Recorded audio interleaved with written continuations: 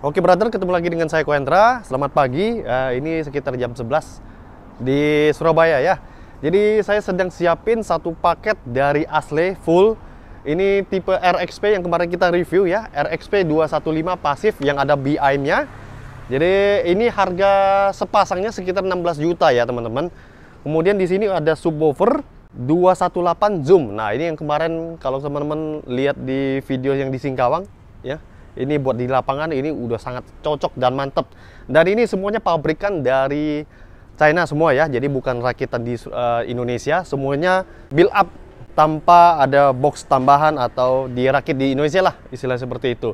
Baik untuk paket ini mau dikirim ke NTT ya. Jadi pelanggan saya yang berada di NTT minta settingkan seperti ini. Jadi dia pertama kali beli 2x15 satu unit dan Zoom 218 satu unit. Nah, total harganya yang ini kan 16 juta, nanti dibagi dua aja.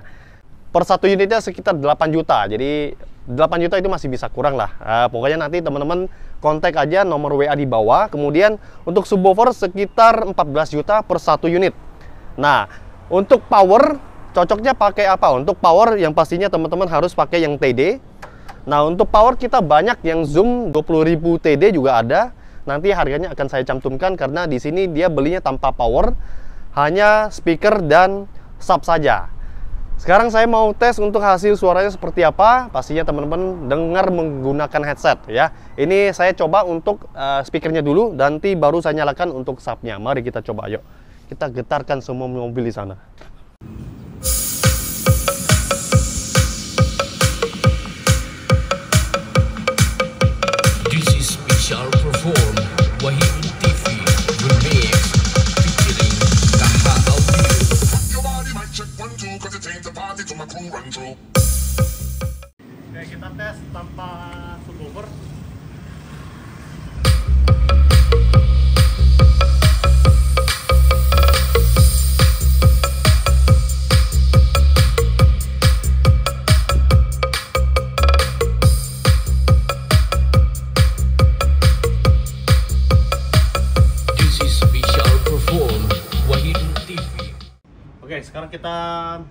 uh, gabungin dengan subwoofer. Teman-teman dengar sendiri ya. Tadi tesnya tanpa sub, sekarang kita kasih sub yuk. Mari.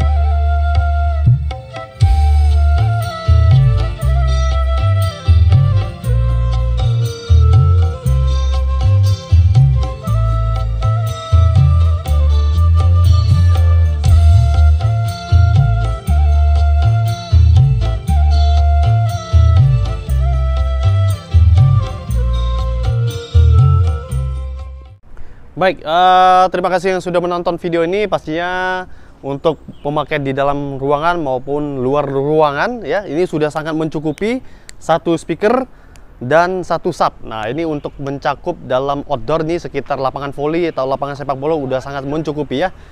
Baik, untuk harganya sekitar satu plus satu ini 22 juta. Nah, untuk power terserah teman-teman. Untuk sub saya bisa sarankan harus pakai TD karena ini wattnya besar banget. Kemudian untuk speaker bisa pakai GB dan lain-lain ya. Nanti saya akan cantumkan untuk power yang biasa saya pakai. Pastinya untuk yang power kita ada power yang tipe RXP satu tipe dengan asli ini. Terima kasih yang sudah menonton video ini. Jika ada pertanyaan silahkan tinggalkan komen di bawah. Akhirnya saya Koendra, thanks for watching.